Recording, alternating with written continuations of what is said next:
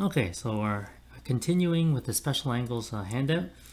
So for example 3, I'm told cos theta equals negative 2 over 3, and theta lies in quadrant 2. Now, this question, to be honest with you, is exactly the same as something you did in grade 11. Uh, because we don't even care for what theta is. We're just trying to solve for the other five ratios. So it doesn't matter if we express theta in radians or in degrees, we have the cosine ratio. So finding the sine ratio uh, is just like what we did beforehand. So what you need to remember is cos theta is defined as x over r. So you have x and you have r. So x must be negative 2 because the radius of the circle cannot be negative. And it makes sense that x is negative because we, we say that theta lies in quadrant 2. So what we're missing here is y. We have x, we have r, but we don't have y. Well, without y, that's a big problem because I can't tell you what sine theta is. I can't tell you what tan theta is, or cosecant, or cotant. The only thing I can tell you right now is actually secant because secant theta is reciprocal of cos theta. So of the five, I can right off the bat, I can tell you secant theta is negative 3 over 2. but you know what? I don't know the other, the four remaining trig ratios. So what we need to do is use the definition of a circle. x squared plus y squared equals r squared. If I know what x squared and y squared, or if I know uh, x and r, I can solve for y. So x, if you do the math, is negative 2, or if you look at the ratio, and r is 3. So let's solve for y.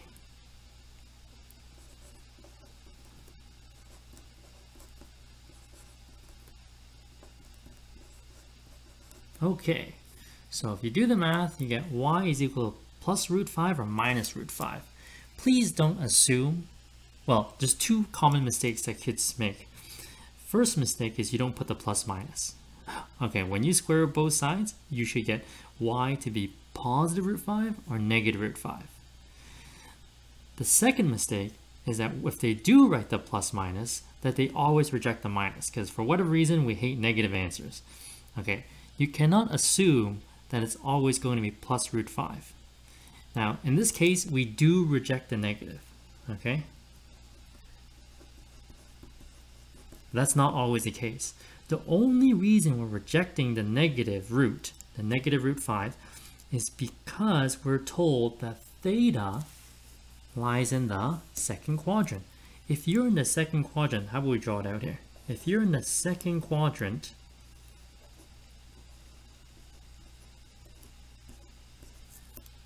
the y-coordinate must be positive. So because theta is in quadrant 2. Theta is in quadrant 2. That's the only reason we're rejecting negative root 5. So, what else do we know? So, oh, so now we know why we can solve for the other five ratios. So secant theta equals negative root 3 over 2. Sine theta equals negative, oh sorry, root 5 over 3 cosecant theta equals, uh, I'm going to rationalize the denominator one step. So 3 root 5 over 5. Uh, I'll show you how I got that.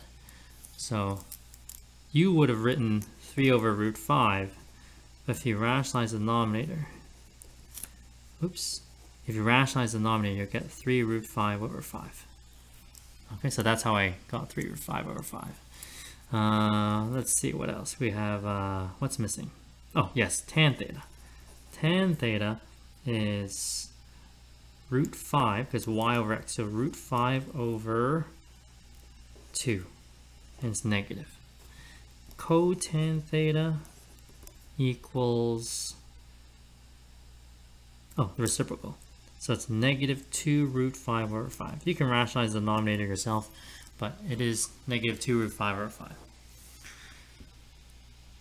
Alright, but to be honest with you, there's nothing special about this question. You, The math and the logic is exactly the same as grade 11. So next one, tan theta equals negative root 3 over 3. Once again, this question is exactly the same as what you did in grade 11. I really want to keep harping on that because I want you to just remember the logic. The math is the same as before. So the only thing that makes this question a grade 12 question is the restriction we've placed here. Theta is between 0 and 2 pi. What you saw last year was 0 degrees and 360 degrees. So there's only one, one small change. So all we have to do is, is we have to express the angles in radians as opposed to degrees. Now, because the ratio is root 3 over 3, we're expecting exact values, okay? So when you see root 3 over 3, that should come to you right away. Okay, they tell me that tan theta is negative root 3 over 3. So I'm going to draw two diagrams because theta could either be in the second quadrant or it could be in the fourth quadrant.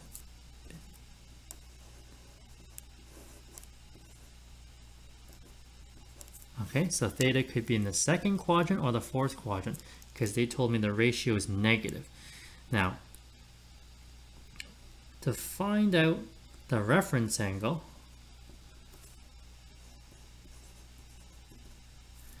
the reference angle, I look at the magnitude of the ratio, root 3 over 3.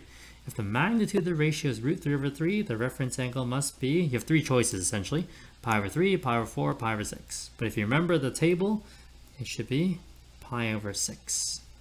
Pi over 6. So theta is equal to, for the second quadrant angle, it's pi.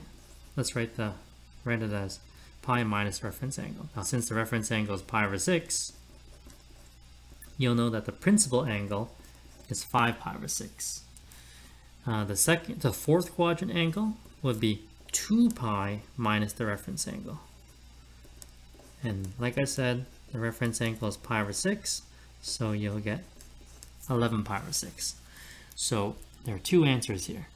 Theta could be 5 pi over 6, or it could be 11 pi over 6. Now I do want to mention that there are actually an infinite number of answers for this uh, for theta. There are an infinite number of answers for theta, but unfortunately we have to reject quite a few of them because of this restriction 0 to 2 pi. Now if that restriction on theta was not there, how do you find the, the infinite solutions? Okay, wh wh where are all these other answers coming from? So let's take a look at 5 pi over 6, for example. How do I get the other answers? How do I generate a ratio of negative root 3 over 3? Well, if you think about it, all I have to do is maintain the terminal arm in the exact same location. How do I maintain the terminal arm in the exact same location? So you take 5 pi over 6, and you have two options. You can rotate this terminal arm clockwise, sorry, this is counterclock, counterclockwise, or you can spin it clockwise. Okay, it doesn't matter. So if you rotate it counterclockwise, all you have to do is take 5 pi over 6 and add it by 2 pi. And you keep adding by multiples of 2 pi. Alternatively, you could subtract by a multiple of 2 pi. But as long as you add or subtract by a multiple of 2 pi, then you'll maintain this ratio of negative root 3 over 3. And the same thing could be said for 11 pi over 6. So in grade 11, hopefully you remember this. This is the, the angles I'm, I'm talking about are called coterminal angles. So if you add and subtract by multiples of 2 pi, you're generating coterminal angles. And the ratios are all the same when you're working with coterminal angles. So because there's a restriction, I, I only have two answers. But be careful, because if the question didn't have these restrictions, then you have to state all the infinite solutions that exist. All right, let's work with the last question here. Rachel's flying her kite at the end of a 50 meter string. The sun is directly overhead and the string makes an angle of pi over 6 with the ground. The wind speed increases and the kite flies higher until the string makes an angle of pi over 3 with the ground. Uh, determine an exact expression for the horizontal distance that a shadow of the kite moves between the two positions of the kite. Okay, so let's draw two diagrams here. Um, in the very beginning, you have a 50 meter string and it's pi over 6. The angle with the ground is pi over 6. Uh, my diagram is actually not very good. Uh, it's a little, little angle looks a little charged. I'm going to shrink it a little. Perfect. Okay, pi over 6. And then the wind picks up. It's a windy day, so the angle, the size of the angle increases. So it goes from pi over 6 to pi over 3. So let's say the horizontal distance here is x sub 1 and the horizontal distance here is x sub 2.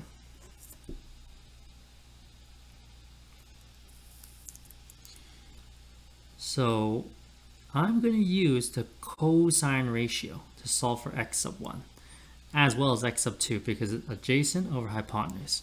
So cos of pi over 6 is equal to x sub 1 over 50.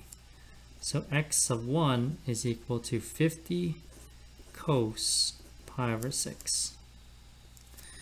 x sub 2 is going to be cos pi over 3 equals x sub 2 over 50. So x sub 2 is 50 cos pi over 3. Let's simplify it here. I was going to simplify later, but we'll do it right now. So x sub 1, pi over 6, cos pi over 6 is root 3 over 2. So that's 25 root 3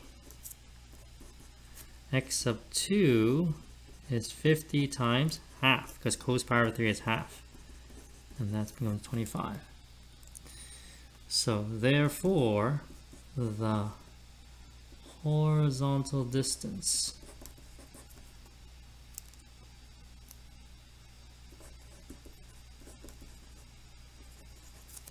that the shadow that the shadow moves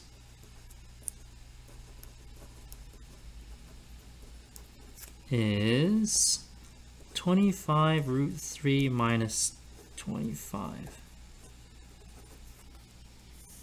So it goes from, so the difference between x sub 1 and x sub 2 will be the, the distance which the shadow moves.